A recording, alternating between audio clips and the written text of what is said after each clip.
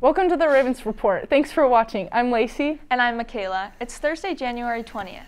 On this day in history, in 1983, a new Intel-based computer was released, the Decision Mate 5.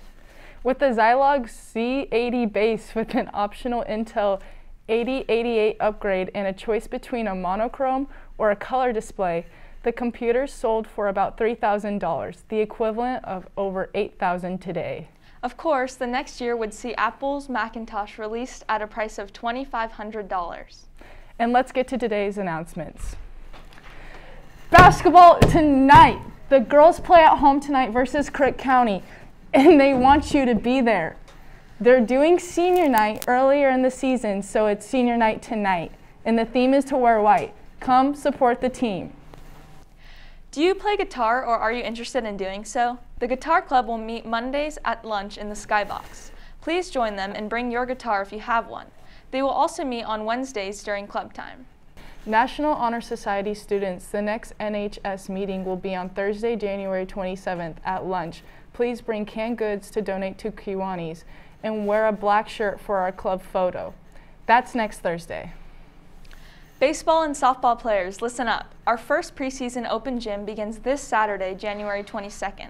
Softball open gym will last from 10 a.m. to noon, while baseball will follow from noon to 2 p.m.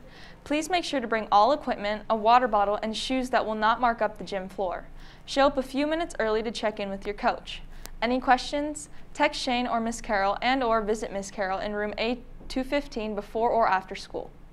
The district tech department is aware of some faulty Chromebook chargers. They're asking all students to bring their Chromebook chargers in to be checked. If your charger has the date code 1705, it needs to be exchanged ASAP. Please bring all chargers and Chromebooks today and tomorrow to be checked. All students who will be 18 by the beginning of June and want a summer job might want to check out the wildland firefighting opportunity. Positions as wildland fire suppression specialists have a starting wage of $2,725 a month, including full benefits. No experience necessary. If you are interested and have questions about this opportunity, Wildland Fire Specialists will be in the College and Career Center available to chat with you this Thursday from 10 a.m. to 12 p.m. Sign up on Canvas or just drop in. You may have noticed many students have been absent for the last few weeks for a number of reasons. It's created a bit of an issue in group-based classes like Ravens Report. So here's how one group is handling it.